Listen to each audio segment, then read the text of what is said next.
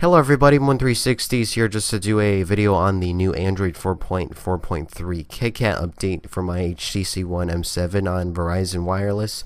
So this update just started to roll out this week and I got it installed yesterday and so far it's been pretty good. So if you want to install it, you can go to the settings, system update and just check to see if the update is available for you. And this is what the screen will look like when it prompts you to update. So it'll say software update available, and this update is pretty small since it's only 386.4 megabytes. So it won't take that long to download, but to be honest, there's nothing really new with the updates in terms of visual uh, changes since the majority of the tweaks are behind the scenes to fix problems and patch some security issues found in older versions of Android. So, really, not much. Uh, the look and feel is still the same.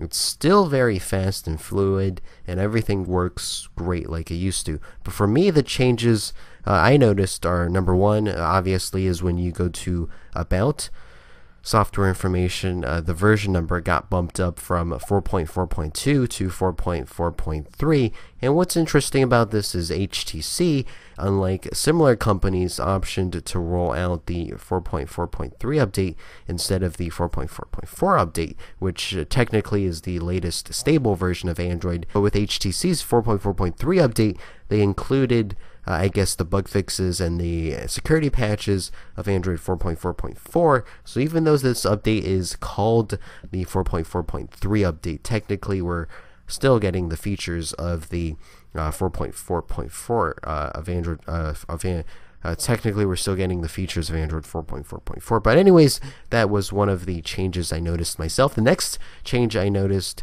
was in the power uh, settings, and this uh, there's this new thing called the Extreme Power Saving Mode, and you can toggle it on to set your uh, phone in uh, to set your phone in a, a low power state to preserve the battery life even longer. So definitely uh, useful if you want to squeeze in some additional minutes of your battery life. Uh, so other than that, there's really nothing much else to talk about. So this update is just like uh, you know a. Uh, so this update is not like you know a must install since it's not uh, really packed with a lot of features. Uh, but my from from but my personal philosophy is or to always be on the latest software version possible. So uh, that, that that's just for me. Uh, so so in conclusion, if you want to install it, good for you. And if you don't want to install it, you're not going to miss out on much.